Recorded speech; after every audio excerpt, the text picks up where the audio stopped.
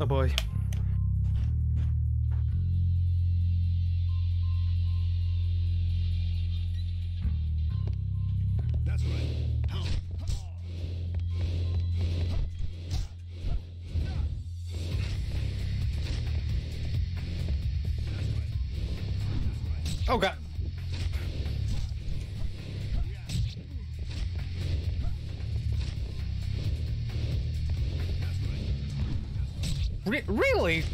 second I start taunt, or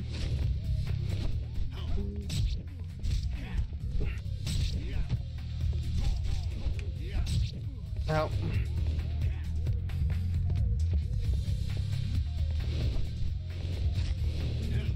Oh, okay. Okay, I gotta take a health item.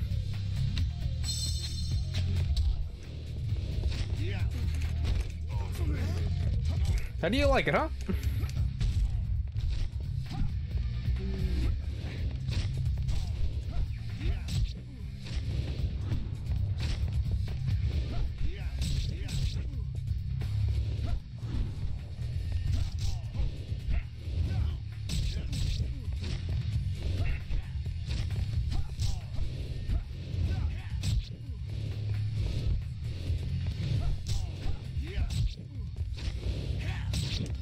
What? That went through me.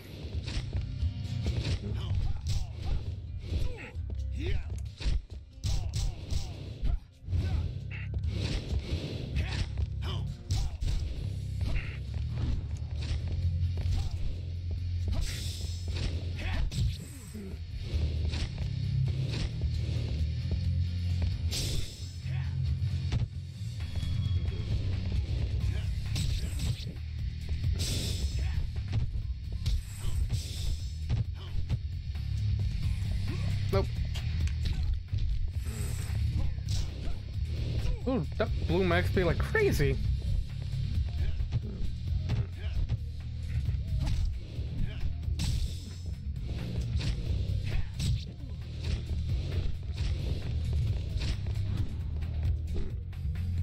Oh, to calm down.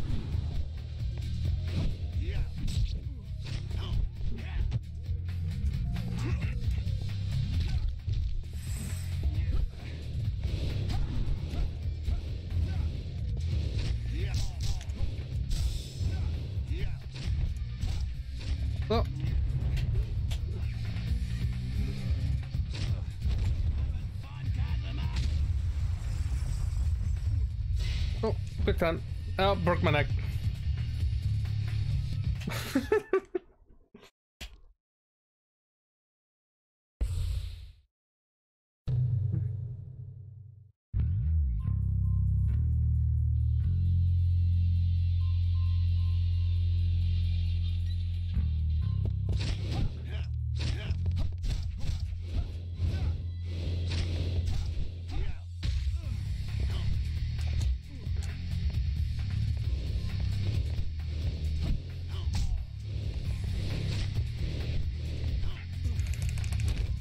Look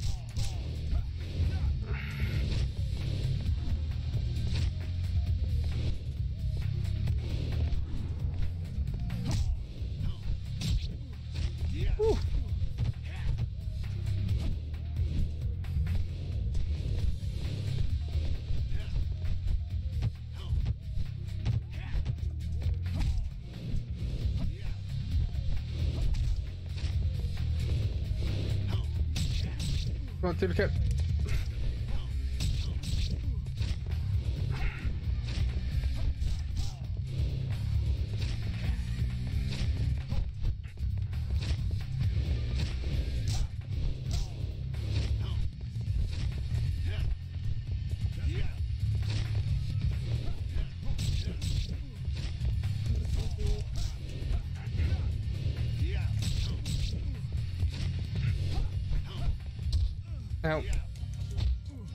Okay, I should have packed some healing items. Yep, that's my death.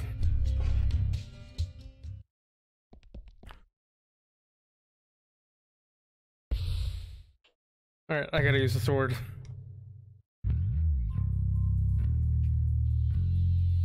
Forgive me, but I have to. Using a knife, I'm using one too.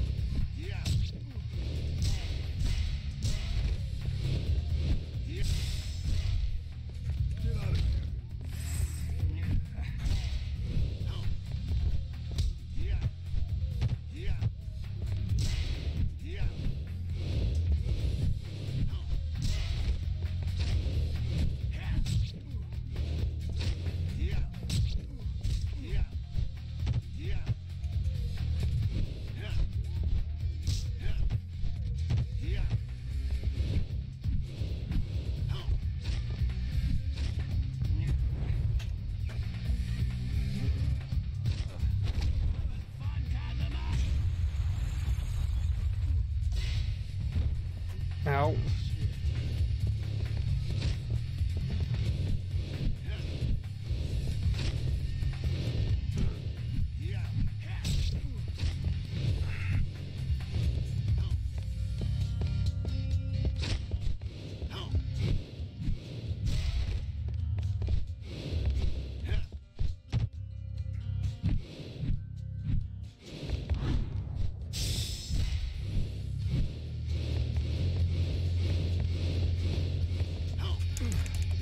A long sword. Ow.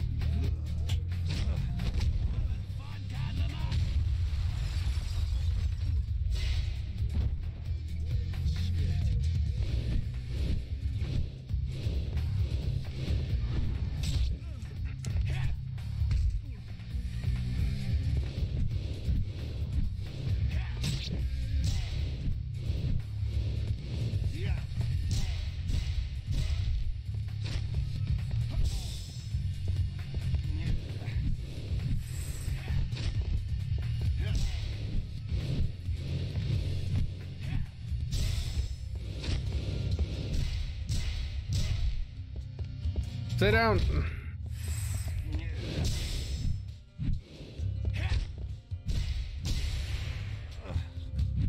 I don't even feel bad.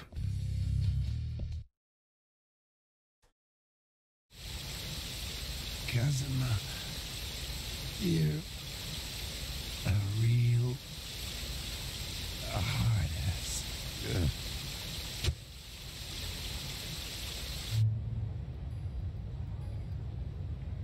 So, that's a Akemi. Must be real tough for her. Date.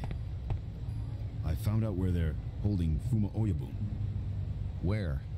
at Shibaura Wharf. Supposedly, a man named Terada from the Omi family stashed him there. Did you say the Omi family? What the hell do they want with Fuma? I don't know. But Shinji trusted him enough to look after Oyabun. So he must be trustworthy.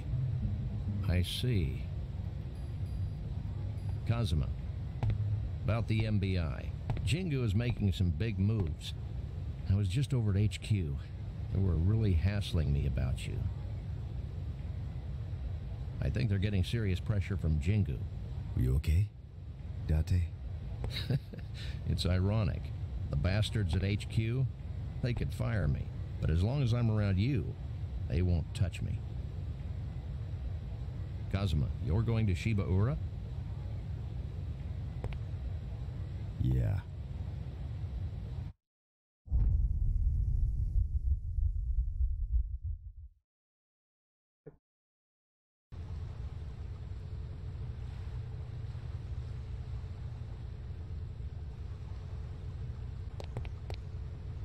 That man.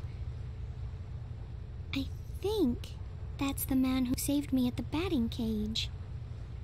He talked to me about the pendant.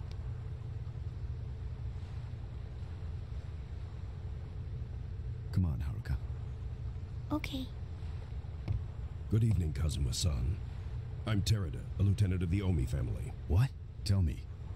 Why is the Omi family helping Fuma Oyabun? Just like you, Kazuma-san. I owe Fuma-san a lot. Fuma-san is waiting for you. Follow me.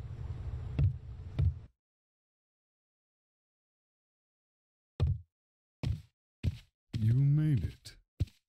Kazuma. Oyabun, I'm glad you're all right.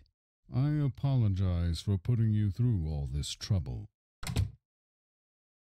The man you just met, Terada, he used to be an assassin, just like me. I see. I asked him to spy on the Tojo clan for me, him being a lieutenant in the Omi family. Especially Nishiki. Kazuma, listen. I'm going to tell you about everything that's been concealed for the past ten years, okay? Yes. This girl's mother, Mizuki, doesn't exist. What? Yumi. Yumi is Mizuki. The woman you've been looking for, Mizuki, is in fact Yumi. What are you saying? Yumi has been pretending to be Mizuki for the last five years. That means Haruka's mother is. Yumi. She is definitely Yumi's daughter, no doubt about it. So Yumi isn't my aunt. She's really my mother? Oyabun. Who's Yumi's partner? I mean, Haruka's father. Kyohei Jingu. Jingu. You mean from the MBI?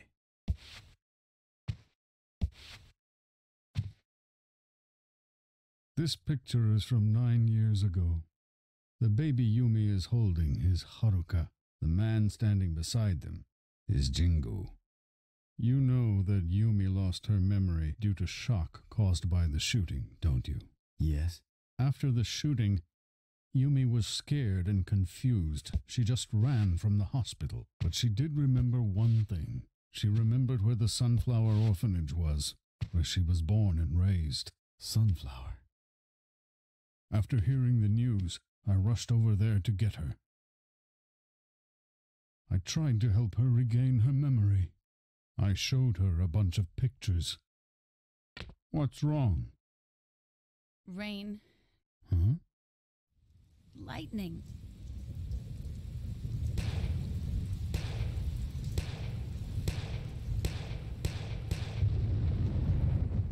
No! What is it? I don't know. I don't know, but At that point, it hit me. I realized who really killed Dojima.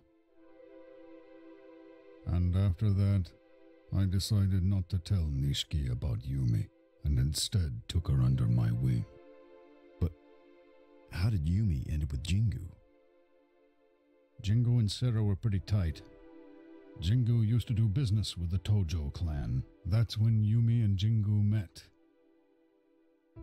Jingu and the chairman? Jingu was trying to get involved in the political world.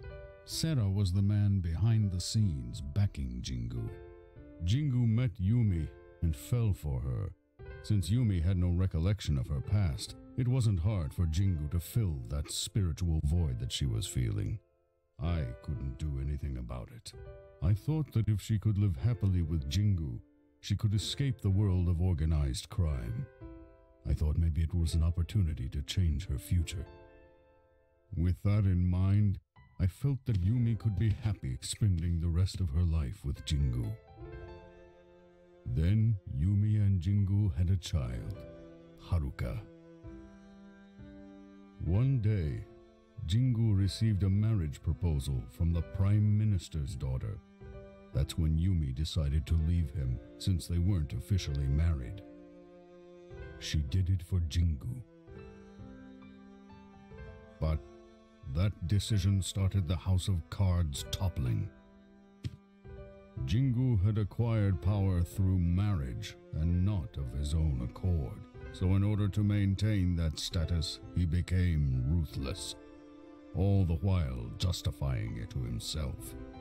After their breakup, I was looking after Yumi and Haruka. Then one day, Sera received an urgent call from Jingu. Sera, you gotta help me out. I'm in deep shit. What's the problem? Just get over here. I'll send some men. Where are you? No, I need you to come alone. What the hell happened? There's a body that needs to be taken care of. Jingu insisted it was just an accident. The body was of a freelance reporter who was trying to blackmail Jingu. He was going to write a story exposing the truth about Yumi and Haruka. Sera gathered notes and pictures from the reporter's home and burned them. But for Jingu, it wasn't over yet. Now, is everything settled? Well, not exactly. There's one more thing that needs to be taken care of. What? To prevent this from happening again, there are two others that also need to be dealt with. What? You mean Sera, this is to protect our future. We must. Jingu?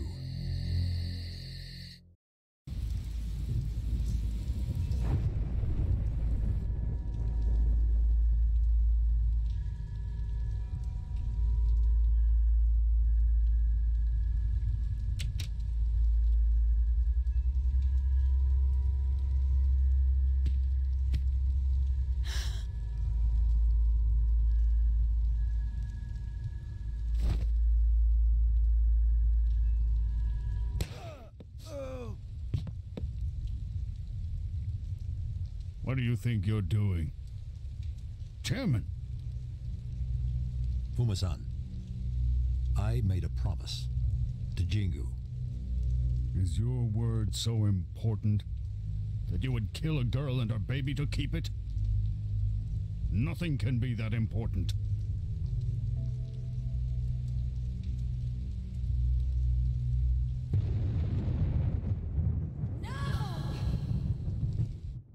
Lucky for Yumi, or maybe unlucky, she regained her memory at that very instant. Yumi and Haruka. Jingu. That heartless son of a bitch. I persuaded Sera to put Yumi and Haruka into hiding where Jingu would never find them. So that's how Mizuki and Ares came to be. Yes. Sera and I arranged to have Haruka live at Sunflower and to change Yumi's name to Mizuki. We hired a counterfeiter to forge all the necessary documents. We also altered the way she looked face, hair. But Oyabun, why did Yumi steal 10 billion from the Tojo clan? That wasn't the Tojo clan's money. It was Jingu's. Fumasan, the Shimano family is outside. It's not safe here. Damn Shimano! That crazy bastard!